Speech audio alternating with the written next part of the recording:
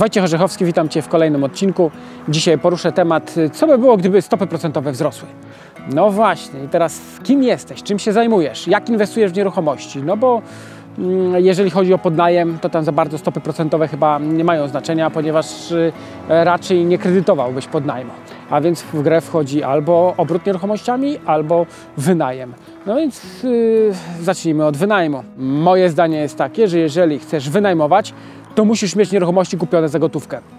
Jeżeli masz nieruchomości kupione w kredycie, no to jesteś w bardzo niekomfortowej sytuacji. To dzisiaj podejrzewam, przy tych niskich stopach procentowych zarabiasz e, całkiem nieźle. To znaczy, no, swoje przepływy mogą być 400-500 zł na mieszkaniu do przodu po opłaceniu już raty, no w zależności ile tego kredytu masz zaangażowanego.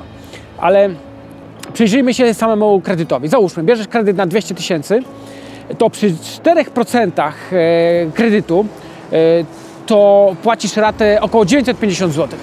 A jeżeli stopy procentowe wzrosną o 2% i będziesz musiał płacić 6%, no to okazuje się, że wtedy rata kredytu jest 1250.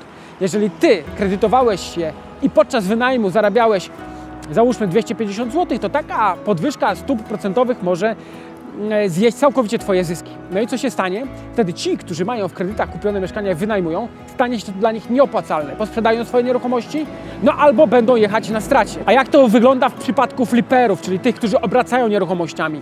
Załóżmy, biorę kredyt na 200 tysięcy, wspomagam się swoją 50 tysięczną gotówką, robię nieruchomość łącznie na 250 tysięcy z remontem, e, i teraz jaką ratę dzisiaj płacę przy 4% kredycie?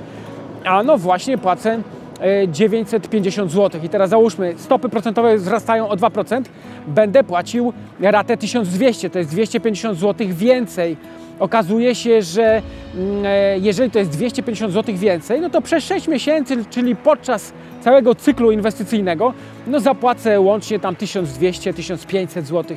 Czyli mój zysk będzie o 1500 zł mniejszy. Oczywiście niektórzy mówią tak, ale tu nie tylko o pieniądze chodzi, bo również o tych, którzy kupują spadnie popyt ceny, jeżeli stopy procentowe wzrosną, e, nie będzie taka dostępność do kredytów, zdolności kredytowe się zmniejszą, mniej osób będzie inwestować. No, okaże się, że będzie mniej inwestorów, ale popyt na nieruchomości zawsze będzie. Gdy analizuję nasz rynek w Polsce przez ostatnie 8-10 lat, okazuje się, że ten popyt był cały czas i niezależnie czy te stopy procentowe były wysokie, czy były niższe, popyt zawsze był i zawsze będzie. Więc tego bym się nie obawiał, że e, będzie mniej chętnych, będzie mniej kupujących. Oni zawsze będą. Przecież statystyki mówią, że w Polsce tylko 67% osób kupuje w kredycie. Pozostali to są gotówkowi. Oni cały czas zostaną.